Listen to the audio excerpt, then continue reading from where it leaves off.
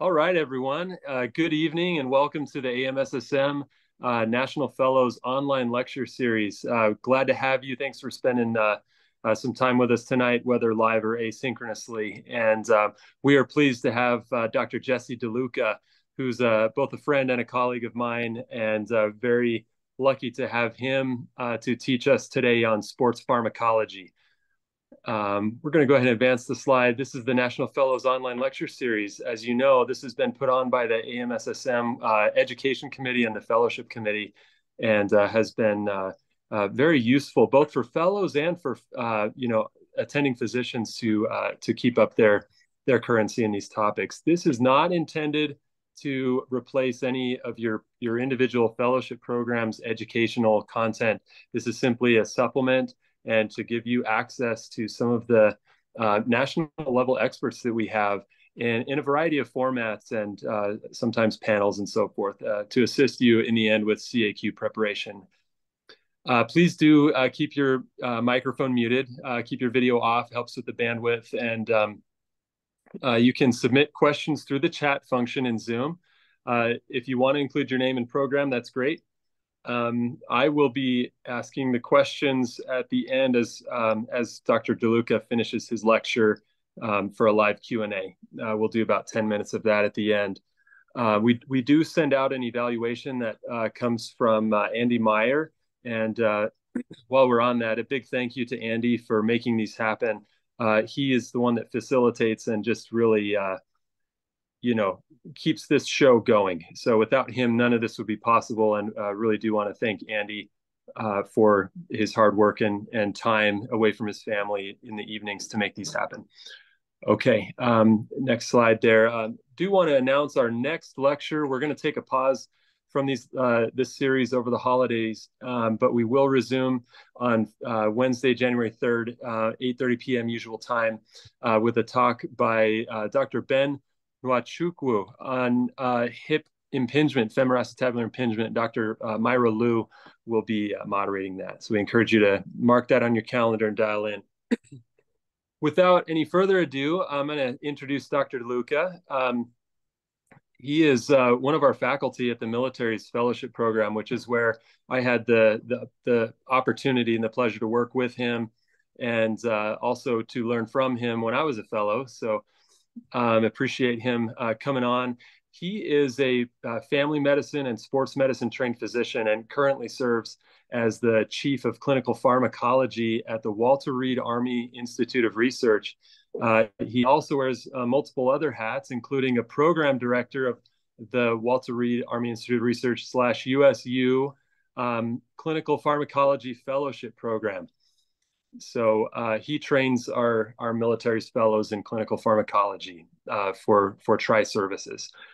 Um, he uh, is involved with mul multiple working groups, including combating antibiotic resistance and uh, pharmacogenomics.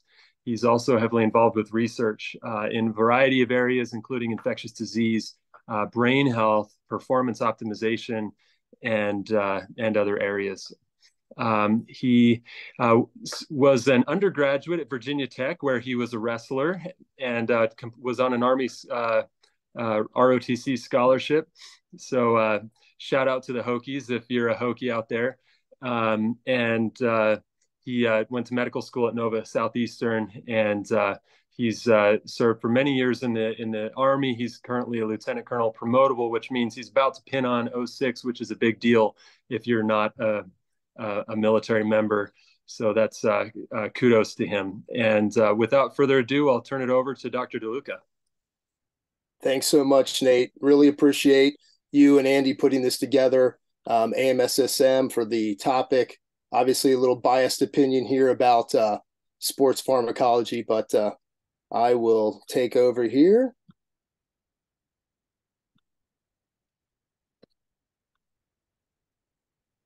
There we go. Can you see my slides? Yep, we can. Okay, perfect. Let me see if I can kick everything else off here. There we go. Okay, so that's me. I left my email there for any questions. Definitely interested in um, you know discussing further things that uh, you may see, you know, clinically and have, um, you know, concerns about uh, when it comes down to pharmacokinetics, pharmacodynamics, and um, certainly, um, you know, research areas. So the material has been reviewed by Walter Reed Army Institute of Research. There's no objection to this presentation. However, all these views are mine. Um, don't confuse them with any views of the Department of the Army or the Department of Defense or the uh, government in general. I have no financial disclosures. So the learning objectives, I tried to stay true to this as a fellowship um, endeavor as far as education um, and definitely will uh, explain, although you know, I've been given somewhat of a of a open canvas. I will try to paint a picture um, for the fellows of what are some very important topics. It will not be all inclusive to everything that you will come across as far as pharmacotherapeutics, uh, but I'll certainly, uh, I hope, plant some seeds in there um, for things that you may want to, um, you know, go back and look at um, and, uh, you know, identify as uh, areas that you may uh, need to study more. So um, I also want to give a little bit to um, our other, you know, faculty and and other areas as far as understanding drug effects on exercise and exercise effects on drugs to help, you know, us clinically um, take care of our athletes and, and tailor pharmacotherapies. So when I think about this from a perspective of a mission of a sports medicine provider, Obviously, we are there to prevent, diagnose, treat, and cure illness and injury in athletes um, and those participating in exercise. Also, I look at this from a you know pharmacotherapeutics um, stance is that we're also there to give confidence um, that when we're using pharmacotherapies, we're going to do so in a way that you know tries to uh, you know we try to accomplish our primary mission but also we try uh, as best as possible to reduce or mitigate um, some of the liabilities that medications have that may reduce performance. So that is my uh, philosophy because i think that um, if you're not giving that to the athlete then they may go somewhere else to find um, ways to enhance performance which uh, will you know then have to have uh, more talks about with the athlete as far as not using things that may be harmful for them. We're going to dive into definitions because you know many have not probably looked at these for a while since medical school.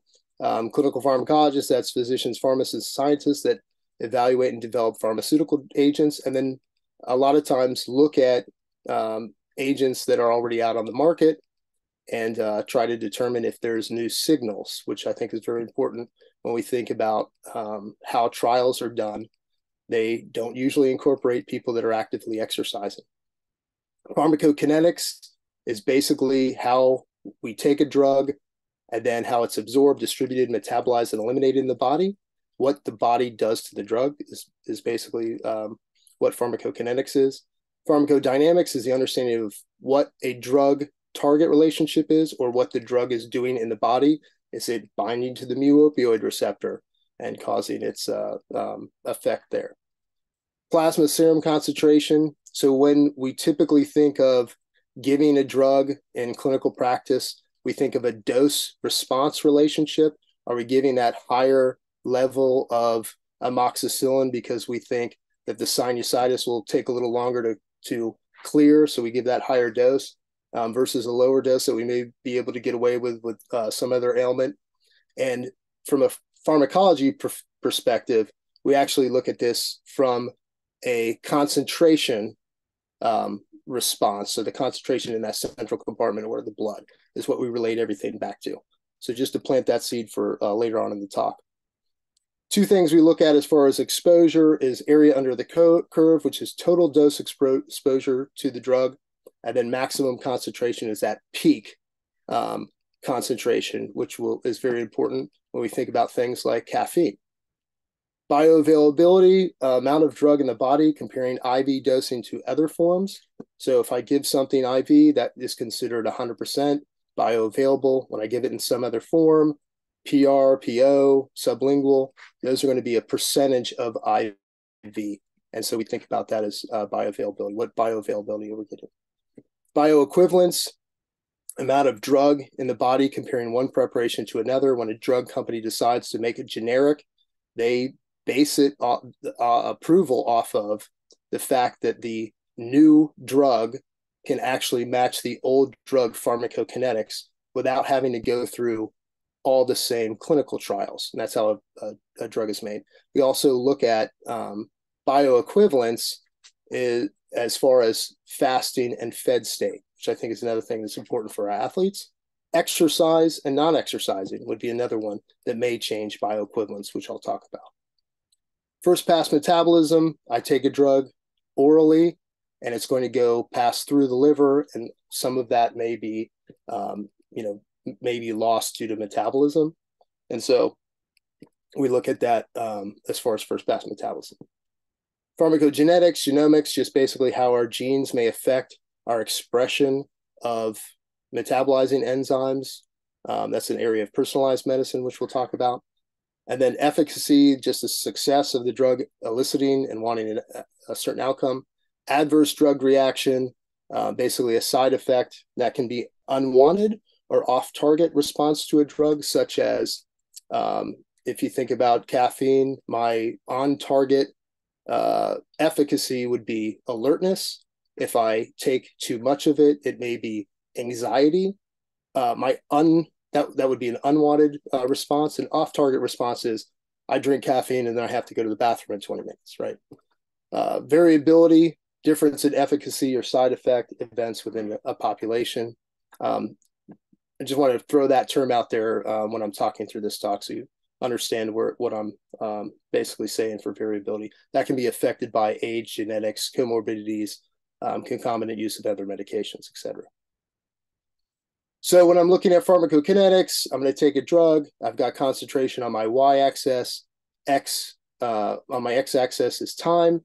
I this would be an example of anything other than IV. Otherwise, it would be just starting at the peak, immediate um, dosage into the you know central compartment or the um, blood uh, it would be around that Cmax. But for all other drugs, how you take it usually have um, an absorption phase, and then a distribution phase throughout the body, and then a terminal elimination phase. The exposure I want is going to happen somewhere around a certain concentration. If I go above that, I may get to a maximum response that I want, that wanted response. Um, for example, alertness. And then if I go too high, I may have start to have side effect. So that's what we look at as far as exposure. Typically, a drug's going to come in over time. You know, it's going to get absorbed, and they're going to hit some peak and then go uh, go away. Drug development process. So I put this in here just to give a little um, example for you know why there may not be a lot of data out there specifically for our realm of exercise or participants you know people exercising with drugs on board. When we go into clinical trials we look at normal people. You get phase one safety. That's usually 10 you know in the number of tens sometimes even less than that. For our phase twos we get into 100 you know 100 people or so or in the hundreds. And then phase three you get into the thousands. And then post marketing surveillance can be in the millions. But still, what does that, you know, what does that say as far as exposure to actual athletes during exercise or even just, you know, people trying to exercise? So if you think about it from a injury uh, perspective, major athletic events, Rio, Tokyo, Beijing, they they don't they still don't have like a large number of actual illnesses that you would expect okay i'm going to try to use certain medications we're going to think about performance. So um, rio for instance 11289 is 5.4 illnesses per 100 athletes and maybe half of those were respiratory so something around 250 if they if they all received the same drug we'd still be in a really low level of um, you know of a clinical trial to expose 250 people and then wonder if there is some side effects that we're going to have. And it, could we extrapolate those side effects as a total when thinking about um, performance or performance liabilities? All right so i will warm up everybody's mind here with a question on pharmacokinetics. It'll also tie in a few things um, that may be important as far as talking to athletes obviously there's been a lot um, out in the last two decades of maybe a little bit of less cigarette smoking in the populations of high school and in college students, but actually an increase in use of e-cigarettes, hookah, those things with um, water receptacles. And so I'll give you this uh, question here. I think I could, can I move this out of the way so I can read the question? All right. Co collegiate athlete presents two month history of persistent cough. In the off season, no sick contacts, no travel, but amidst the frequent the hookah bar, heard the harmful effects of smoking are cleaned out through the passing it through water. Typical misconception. Uh, he also states that his friends also occasionally put alcohol in the water receptacle. What is false about water based tobacco use and inhaled alcohol exposure? I'll go ahead and give you some time there on that. We'll give it about another 10 seconds.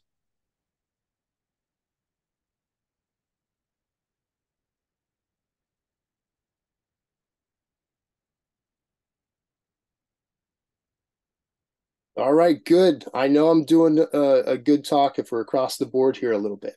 So something to consider when you're talking about, um, you know, nicotine use or even uh, nicotine um, nicotine, you know, uh, vaping things where there's no nicotine involved. The tar exposure uh, being reduced is actually a false answer. Their tar exposure actually can be higher in the water-based receptacle, um, you know, for smoking. Humidity in the vapor and inhalation practices typically result in a variable but usually increased lung exposure to nicotine. That is true. Um, brain exposure to alcohol is increased the uh, and then inhaled alcohol is, is toxic to the lung tissue. So we'll move on. There we go. Okay. So um, increased tar exposure, like I said, actually has been some studies that it's as high as a pack of cigarette smoking in um, one session. That can be because some of the social value, but that um, the heating of the actual tobacco um, to very high levels that you wouldn't see actually in cigarettes is why that TAR can increase. It does cause um, autonomic nervous system deregulation, peripheral vasoconstriction, reduced nitric oxide release, reduced heart rate variability. So that's something of concern um, if it's important to the athlete for gains and when to, um, you know, to do consecutive exercise. We have to think about that. When alcohol combined in the water receptacle, um, uh, brain exposure is much higher. So instead of taking alcohol the traditional way into the stomach, which is absorbed um, almost 100%, but then goes through the liver and is actually broken down, can be reduced, um, you know, by 25% or even more um, through first pass metabolism. Instead, taking it into the lung, you're going to get such so much higher exposure. Goes straight to the lung, into the heart, and then 30% is going to go to the brain. The other 70% to the rest of the body at rest. And so you're getting instead of you know 25% reduction um, and then only 30% of that going to the brain you're getting the full amount 30% going to the brain with alcohol. And so there's some animal studies out there um, that show that this is probably an increased risk of physical dependence. It can uh, basically mirror binge drinking um, from a you know single shot. And then nicotine and alcohol co-exposure are thought to be synergistic for dependence um, from either substance alone. Alcohol also reduces innate immunity, which is something that we have to consider in our, um, you know, our long distance uh, aerobic type um, exercisers. That they're, um, you know, that intensity of exercise can also reduce that as well, and so there'd be a, um, a additive effect. All right, question two: Which of the following NCAA substances bans depend on body fluid sample concentration levels creatine, cocaine, caffeine, and cannabinoids. I'll go ahead and give you some time on that.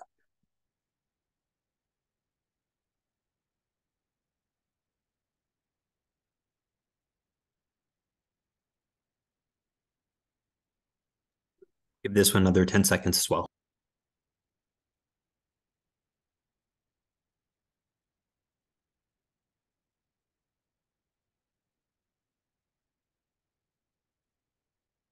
All right, fantastic. So, little tricky question there. Um, we were talking about NCAA uh, specifically, so we'll go through this. Okay. So as far as the bans, creatine's not banned. It is thought to be have some performance um, enhancement. I know we've just previously had a lecture on uh, performance enhancing um, drugs. Uh, I think in the, in the past month, fantastic talk. Uh, cocaine, obviously, if there's any um, finding of cocaine, that would definitely be a, uh, you know a ban and, and cause issue. Caffeine in the NCAA actually does have a fluid sample concentration in the urine that will um, that will cause a positive or is allowable. And so we'll go into that. Cannabinoids is a little bit of, uh, of a trick. The limit of quantitation to actually determine if cannabinoids is in the system, the NCAA has relaxed or at least raised the level. And so there's still a cutoff um, but it is uh, it's not the same as a, a, level of detection like cocaine would be. So we'll go into these. All right, creatine monohydrate. So the PK, I think this is something uh, important for performance. Definitely, uh, um, at least something that you can see um, because it's so widely used that I, I would think that it would be um, you know testable on the boards how it how it works. So clearance is about two grams per day or 1.7% of total body body creatine in your, you know, heavy uh, lifting athletes. Um, you know, you may see more, can get up to even five grams per day of clearance. The performance benefits probably only when muscle becomes saturated.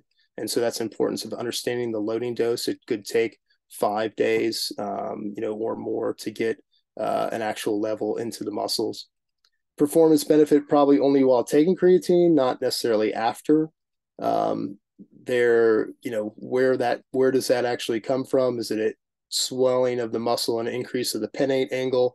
I think that there's data out there on that. Every you know, everywhere from that to um, the actual uh, you know biochemical response of ATP is going to be used up in exercise in the first three seconds then you're going to have from three to 10 seconds creatine supplying phosphate to um, AT, the ADP that's broken down.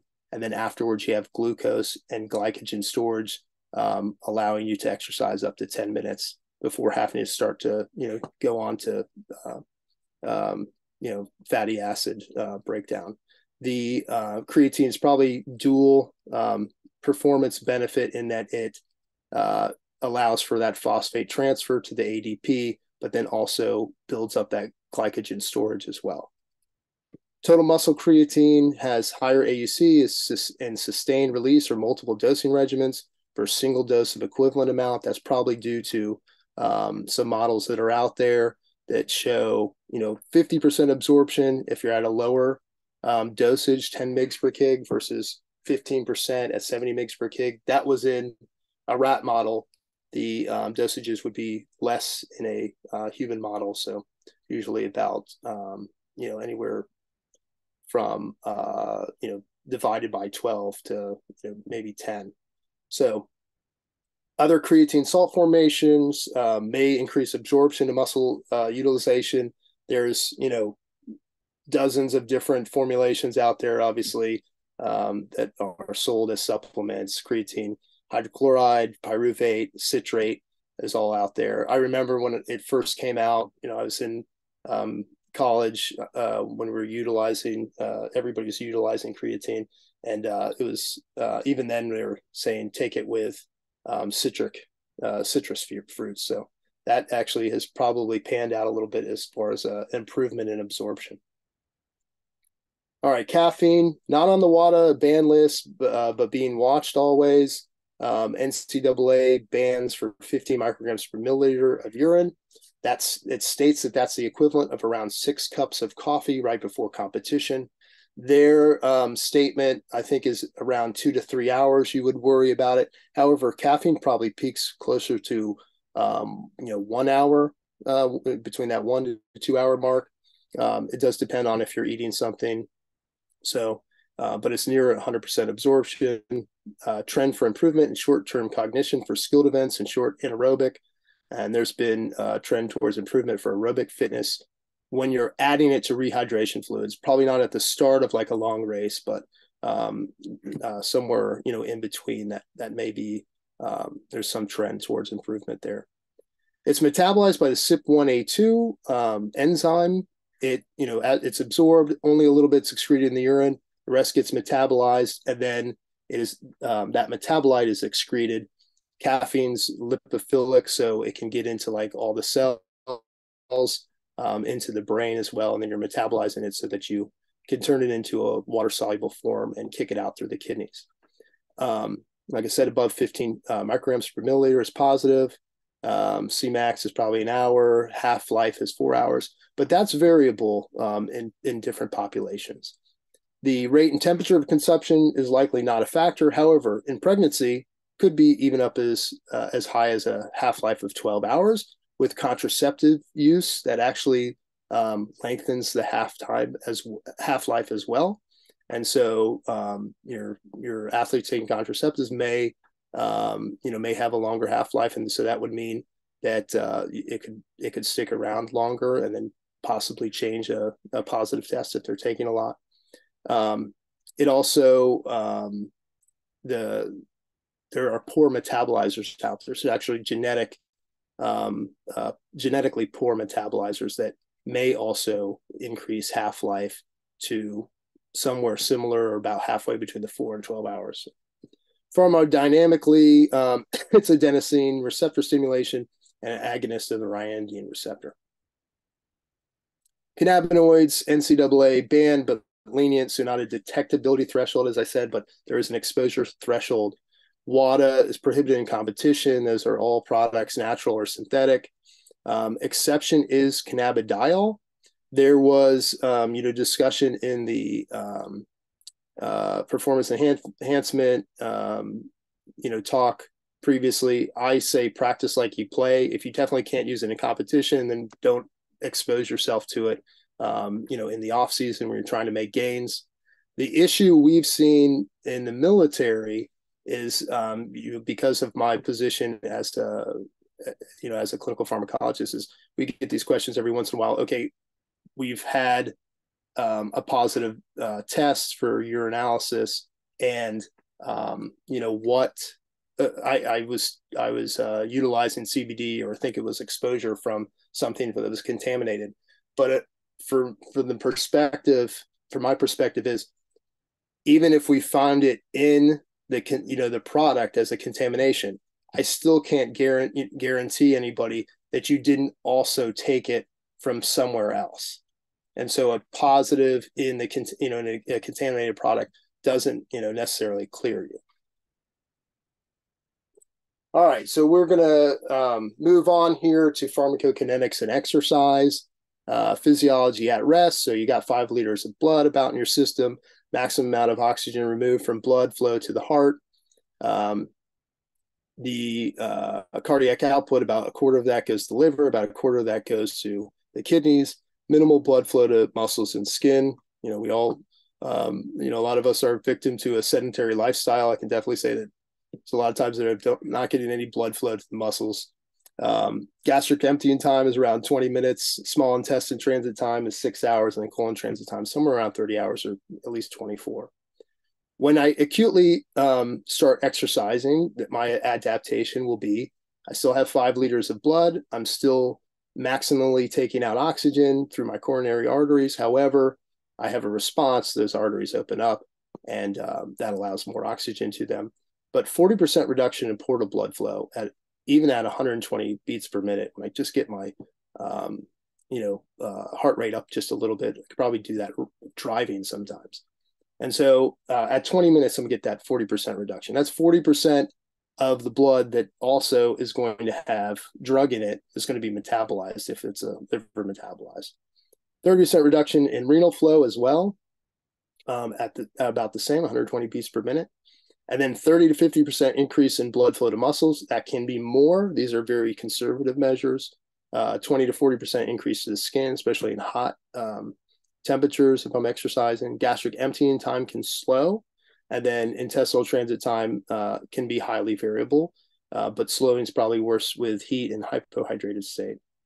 better trained athletes will actually have a more more response, um, you know, more responsive system, and so these can be um, all even uh, worse.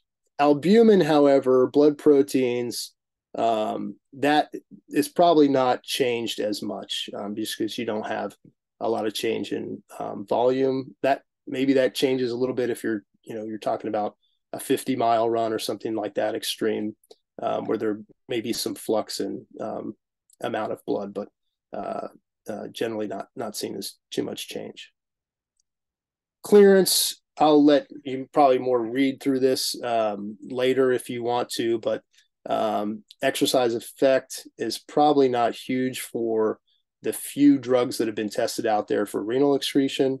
Um, there are exercise induced drug liabilities, um, you know, through the liver uh, is probably predominant.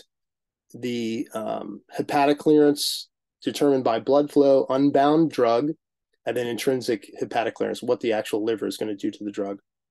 Drugs and supplements with high intrinsic hepatic clearance, that means most of it's taken out when it passes through the liver, that's probably going to have a greater influence on, on blood flow. So going to the next. This is a interesting um, uh, study. There, there's a lot of these are kind of old, um, just because I think there's not as much push for um, these studies to be done. But um, you know, something to consider because we use this uh, physiologic-based pharmacokinetic modeling for other things um, when we're thinking about soldier health, and it can be extrapolated to exercise but uh, these drugs were found in modeling to be, you know, high intrinsic um, uh, clearance, morphine, verapamil, propranolol, nitroglycerin. So bioequivalence, um, when thinking about, you know, this, uh, basically to say that you're bioequivalent to the same, to another compound, like if I'm making a generic, or if I'm have uh, a drug and I don't want it to have on the label that you have to eat food or you have to be fasting, then I want that drug to be within 80 to 125% of the concentration of the plasma, both in AUC and Cmax separately. Uh, that has to be determined. Um, one instance, really old, reaching back all the way to 1977, um, showing that if uh, just playing basketball um, whether I'm, you know, taking drug, playing basketball versus at rest, the doxycycline dose can actually increase to the same or even above what would be considered you know, fed versus fasting. And of course, doxy, the tetracyclines in general have on their label, um, you know, uh, the, the fed or fasting determination. And then also, you know, don't drink it, don't take milk with. It. So question three, We have a 17 year old male soccer player with a hit to the chest and a chest pain developing over the next five minutes. No respiratory distress or other symptoms, but persistent mild pain. His pneumothorax was found via ultrasound and uh, retrospectively seen on x ray. Ultrasound's awesome. He received high flow O2 for six hours and was reevaluated with small reduction on ultrasound. Parents were supportive of home care and he was discharged with codeine. What is false about codeine use in this scenario? I'll go ahead and let you read those.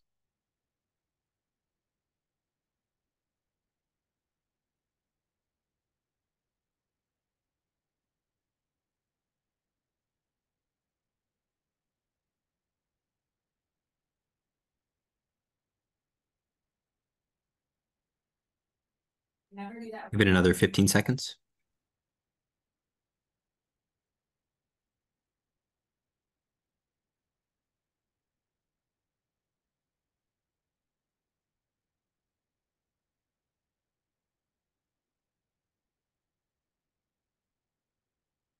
All right.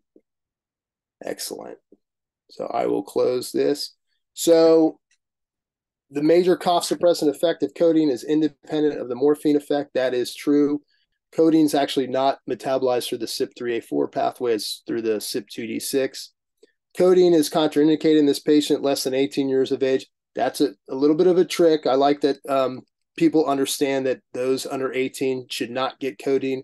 It's not it's not um, approved for 18 or less it uh, the FDA came out with guidelines that is completely contraindicated in those 12 and under.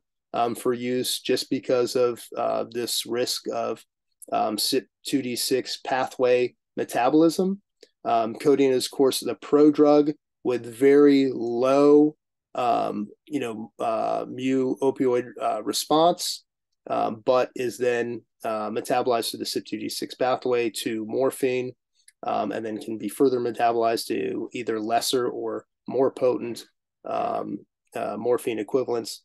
And then you have um, the codeine itself actually um, can be a, a, a, cough suppressant independent.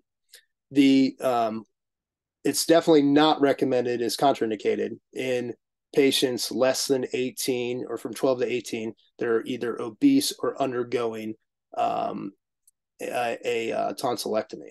So those types of things, uh, the FDA has come out with uh, black box warnings for. And then respiratory response toleration decreases faster than pain relief toleration.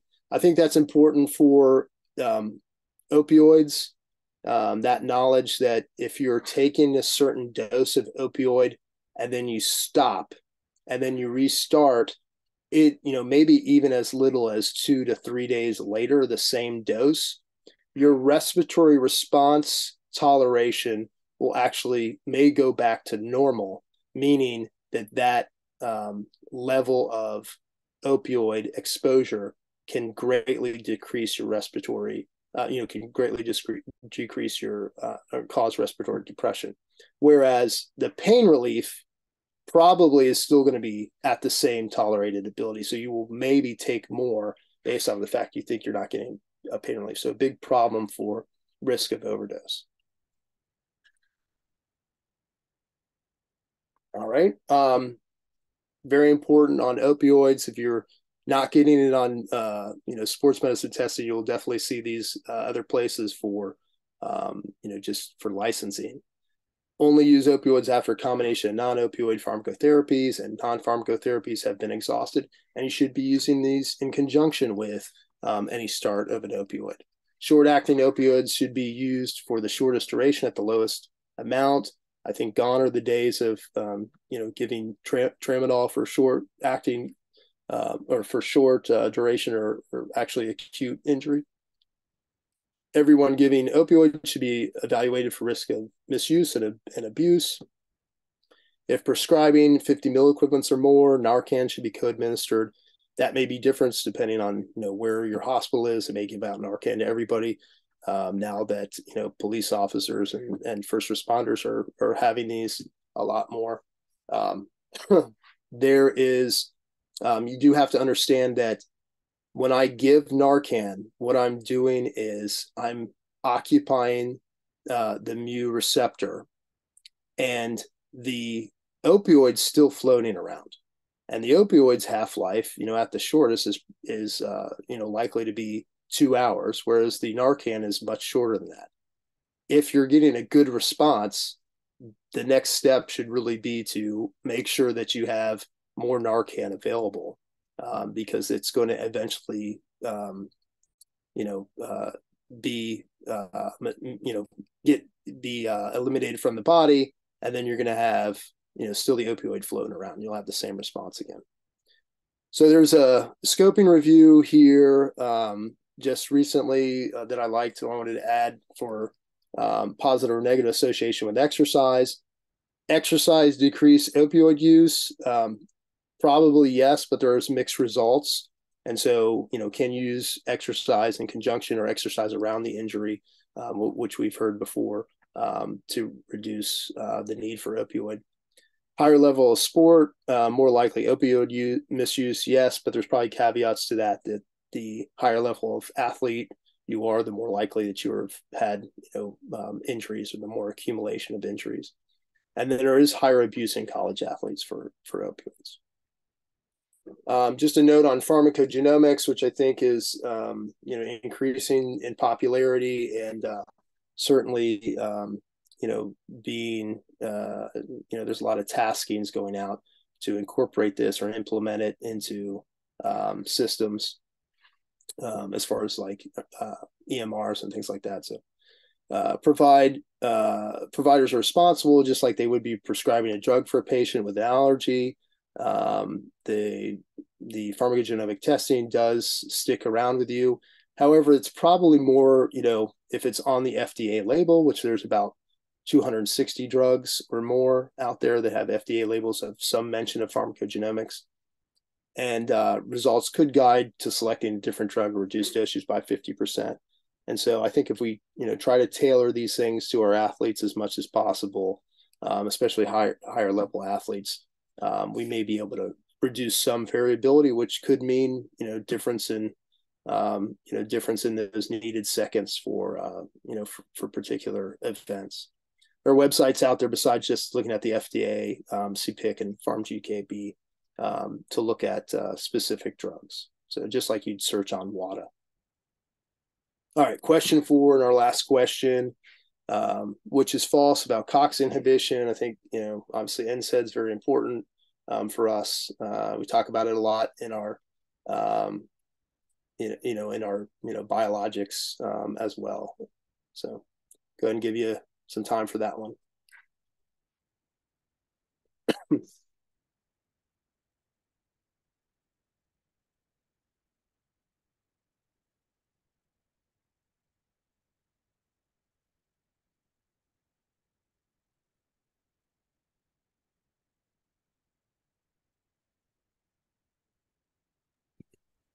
Give it another about 15 seconds.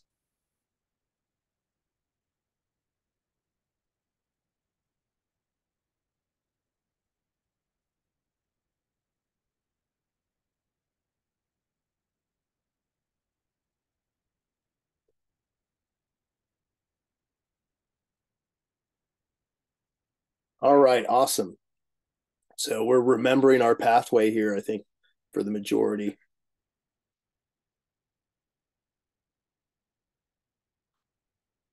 So what what's false about COX inhibition side effects? So both non-selective and COX inhibition and selective COX2 inhibition are risk factors for acute kidney injury. That's true. And if you're taking high levels of a COX2, you can still get some COX1 inhibition. So they don't block leukotrienes. That's down the opposite um, pathway. You would see that in you know steroid use. Um, they do block uh, thromboxanes uh, uh, to an extent, and then interstitial nephritis is an IgE mediated um, NSAID induced side effect. Topical NSAID is a first line therapy for OA. Absolutely. Um, I think, you know, it's very rare that I see a patient um, uh, that that is referred for OA that's actually taking this correctly. So, you know, lower extremity could be up to four times dosaging in a day um, for your topical. You don't want to go over 16 um, grams for a single joint, or I think 32 for a day. Um, but definitely something that uh, is going to peak in the system, you know, in the knee or wherever you're applying it to a much higher level with topical NSAID than if you were taking it orally. Um, and then the systemic effect is going to be much less as long as you're staying within that guideline as far as exposure when I'm taking taking an NSAID orally, I'm getting a real high level in my system so that I can penetrate um, into the joint and to get uh, you know a level where it's going to actually cause um, you know pain reduction. So um, SNRIs uh, number to, needed to treat is probably about two to three, which for NSAIDs is about two. So that is a, correct statement as well. The um, I think we probably are underutilizing that for you know chronic pain um, you know the um, efficacy for um, an SNRI is uh, is going to be actually at a dosage that can be even around half or 75% of what you would typically use for other reasons such as depression. So, all right, and that's our our pathway there. Um, you know, just steroids going to block everything at arachidonic acid um, production, and then uh, your NSAID is going to you know typically block just the COX one or COX two. All right. Other examples of exercise effects on drugs. There's a lot out there, but maybe some that you would more commonly uh, utilize. So migraine prevention. Um, you have some choices. None of them particularly great for thinking about um, you know their uh, you know their effect on what it's going to do to your athlete or if they're even you know banned um, in in that sport. So beta blockers, metoprolol and atenolol, both beta one selective. Metoprolol metabolized through the liver, atenolol is eliminated through the kidneys, and so you have risk of, um, as we stated, you know, B2 antagonism at higher exposure, and then um, decrease in lipolysis and potential uh, bronchoconstriction if you if you had um, high dosing. And so, you know, if I'm going through the liver and I'm exercising um, when I'm taking that, then uh, the metoprolol may be at a, a much higher level because it's not going to be metabolized as much with that reduction in um, liver flow. Topiramate may, may be um, a little bit uh, better of a choice, although there's some variability uh, present in long, longer acting formulations. So other examples of drug effects for exercise.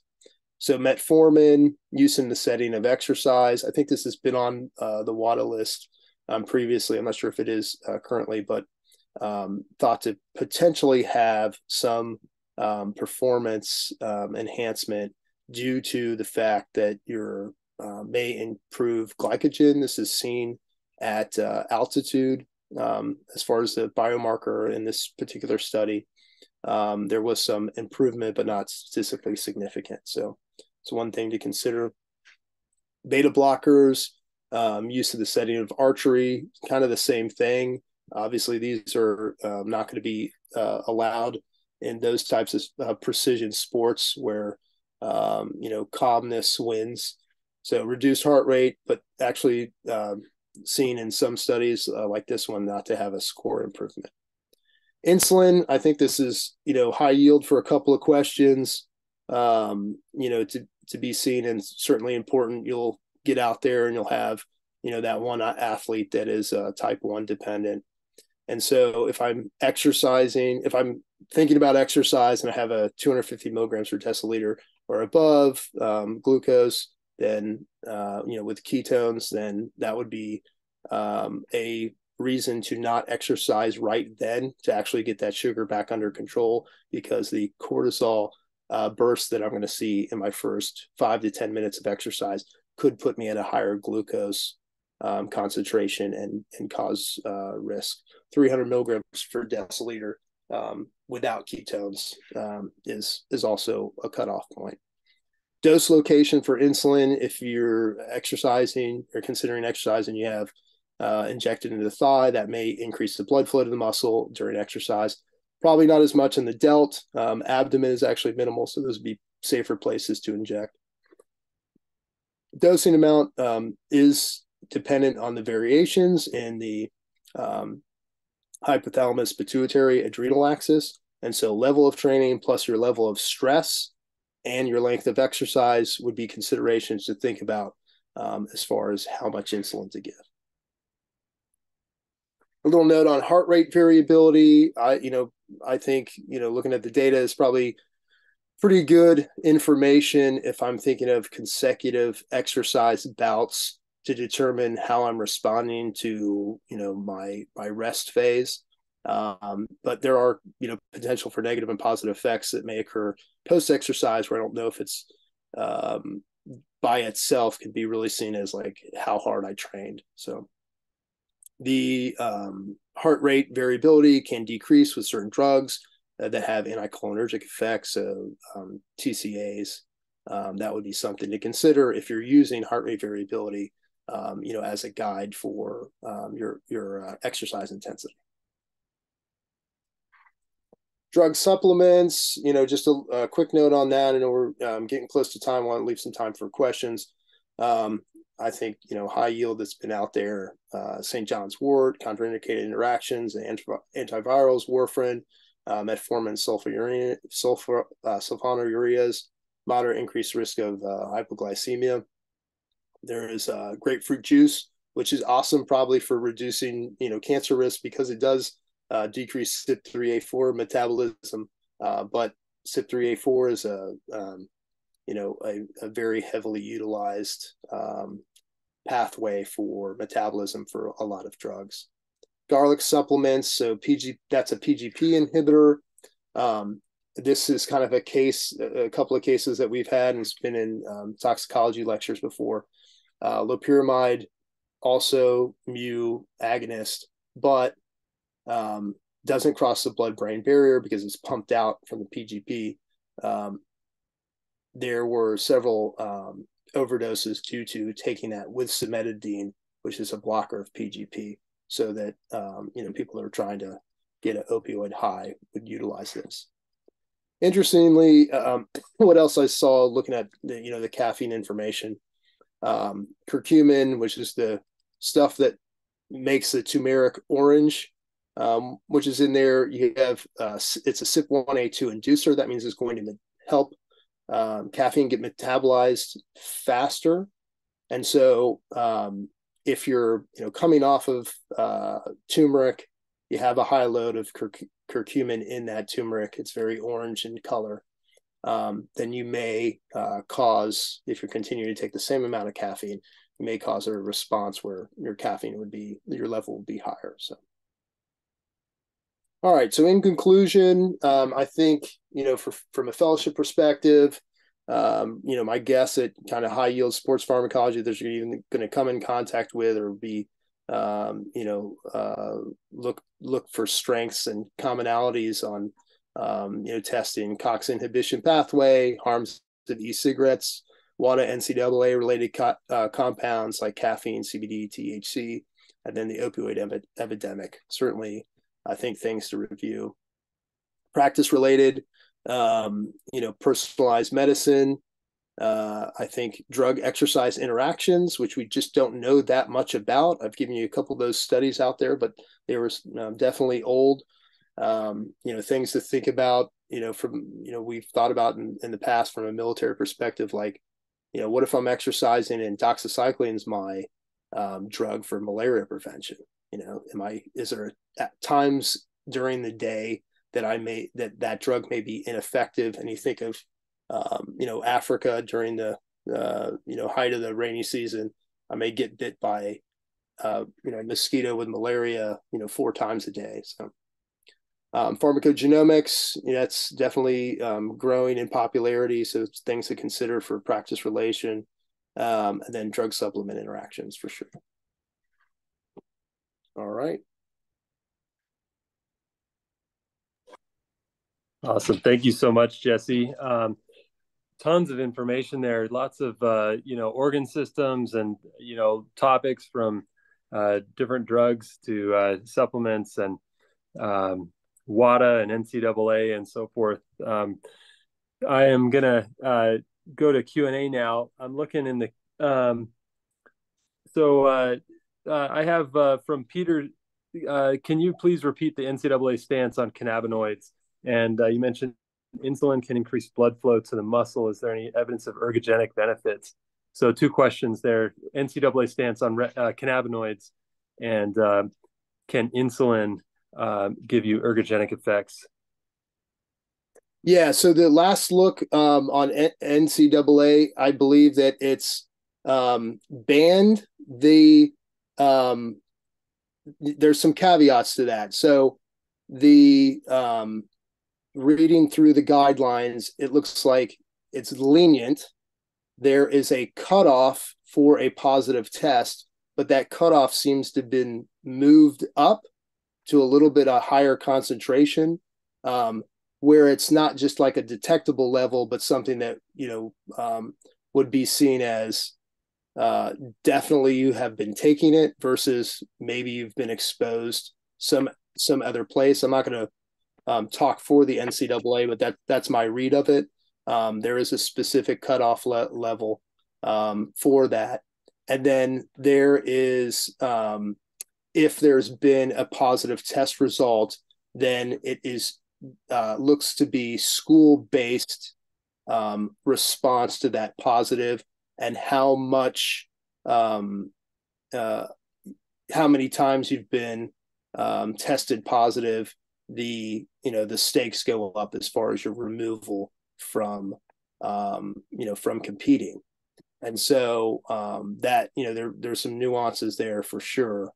Um, cbd not banned um, by wada and that you know I still think that you know just looking at concerns for contaminants, um, you know that that that can be problematic, as I stated.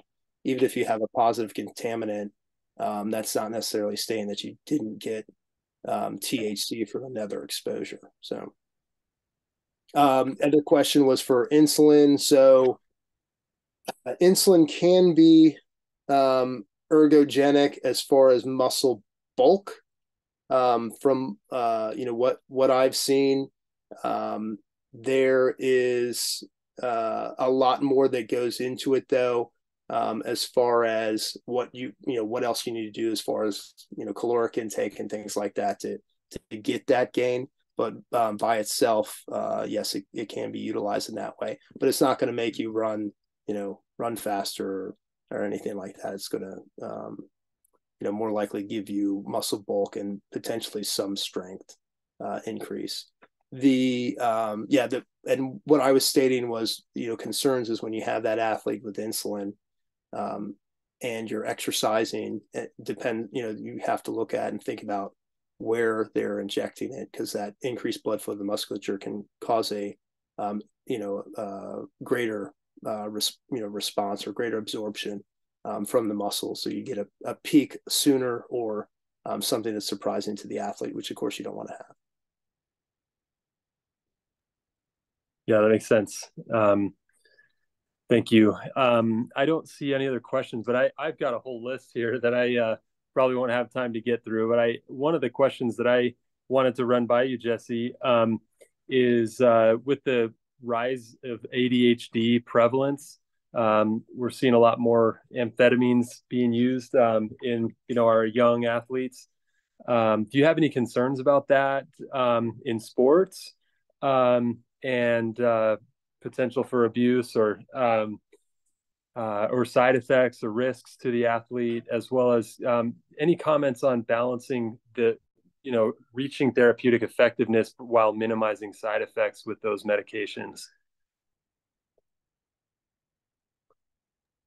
Yeah, I think um, you, are definitely right. You know, it's it's out there. Stimulant use, um, you know, some sometimes, and, and, I think you know with our uh, population as far as gaining weight over the years here in the U.S. Um, things that allow us to uh, eat the same, stimulate our body, uh, you know, re- reduce um, weight. The, you know, those all are always, I think, for for the time being, um, are going to be have the potential, um, you know, to to be abused.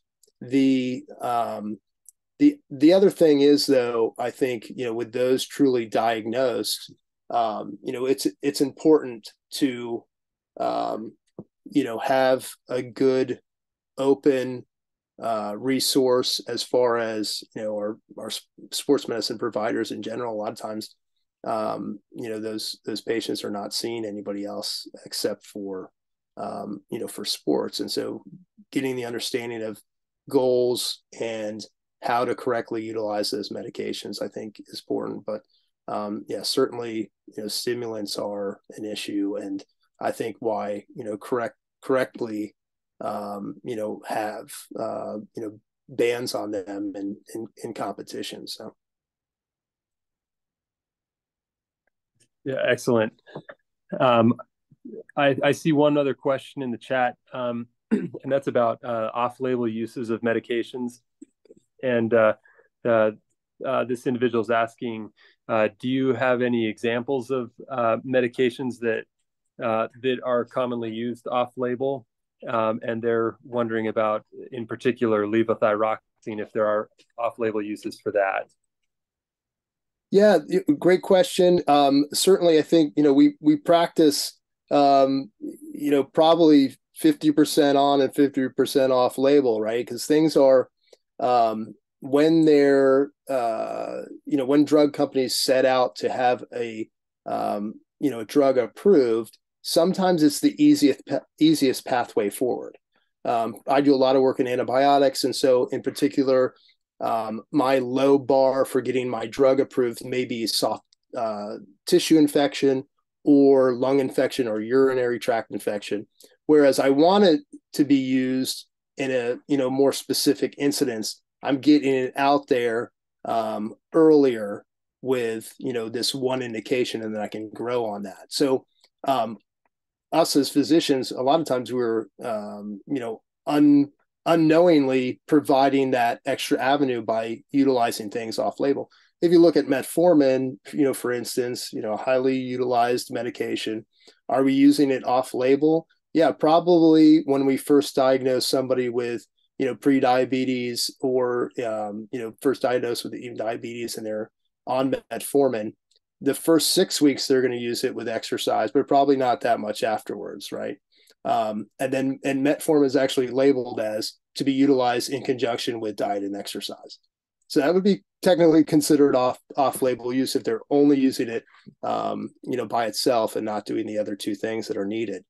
Um, as far as levothyroxine, I haven't personally seen that um, as a use, but the idea is out there, um, especially you know if you take care of uh, patients with um, hypothyroid, their thought process is that the you know 50 pound weight gain is from uh, hypothyroid where it's probably more 5 to 10 and so um, it's i think it's somewhat of a stimulant effect as well. And the you know maybe that little bit of um, satiety as far as uh, you know decreased intake of food and things like that maybe um, maybe why they're using it. But I, I haven't seen that personally. That's a interesting um, concept. Certainly i've seen it i think utilized in general pra- you know practice just for uh, weight reduction or at least conceptually used that way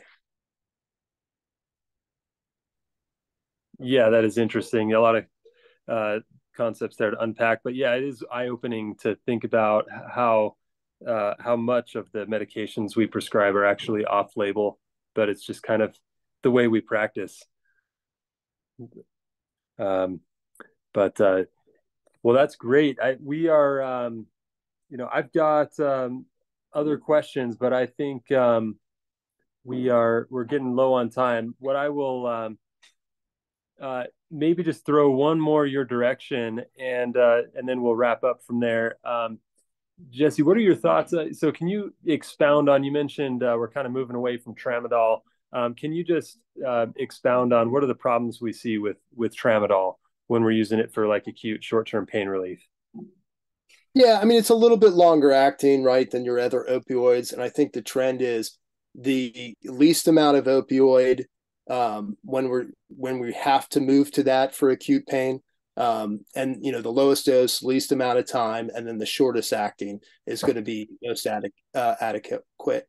The mm-hmm. interesting, obviously, with tramadol also you have a little bit of the serotonin response, and so can you get that same effect with you know an NSAID plus um, you know duloxetine or something like that, um, or you know try you know the you know other non pharmacologic uh, things that you can do ice. Could you get that with the same you know uh, you know same same thing as doing tramadol? Um, the yeah, and it's definitely something that we we've used in the past. Um, the you know the interesting thing is you know even after um, there's some studies out there even after mastectomy, um, which is uh, one of the most painful um, surgeries. You can give, you know, 30 days of an opioid or 10 days an opioid, and there's still going to be some left in the bottle.